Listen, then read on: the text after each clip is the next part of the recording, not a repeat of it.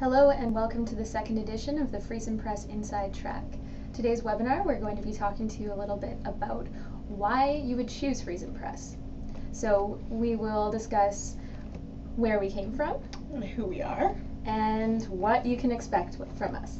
Once again, if you weren't with us last month or you've forgotten our names, my name is Caroline Johns. I'm the manager of Book Production Services. And I'm Marie Witt, manager of Book Promotion Services. So without further ado, let's start talking about where we've come from, which is our parent company, Friesens Corporation. And I'd like to start this off by sharing a quote with you from D.W. Friesen, who started Friesen Corporation in 1907. And he's always said that our company will only be successful if our customers are successful. And I think that's a really important concept, and we feel very strongly about that over 100 years later. Friesens is also really adamant that their three core components of their company are service, quality, and fair pricing. And that's something that we also share with Friesens.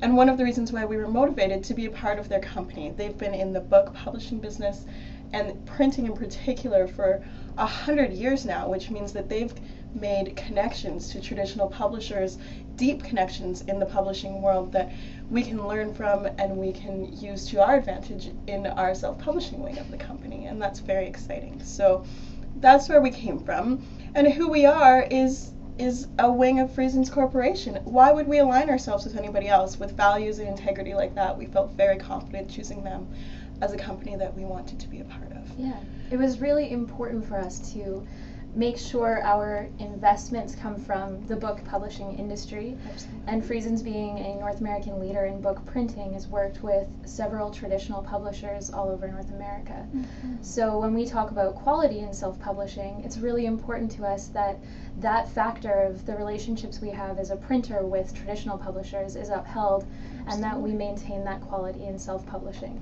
Absolutely. And what you can expect from us from our relationship with Friesens Corporation is this CEO to CEO connection with traditional publishers, which in the right circumstance we can really take advantage of. So we're very excited to launch what we're calling our Connections program this year. And our Connections program is a short list of authors of, of books, excuse me, that we will create every year. And of that shortlist, we will contact the, the winners, the, the few that we decide are the absolute cream of the crop from our publishing house this year. And we will give those authors the option of being handed off to a traditional publisher in a CEO to CEO format. And that way, you have a little bit of a leg up in getting into that traditional publishing world if that's where you're really deciding you want to go. That's right. And that's a small amount of books. We really take our mm-hmm. time to decide the top books that are coming out of Friesen Press Absolutely. Because we want to make sure that we're representing the best of the best. But every Friesen Press author has the option and, and availability to be a part of this program. So we're looking at every book that's come through, no matter what package, uh, no matter what um, what path you've taken to to Get publishing. To yeah, yeah, absolutely.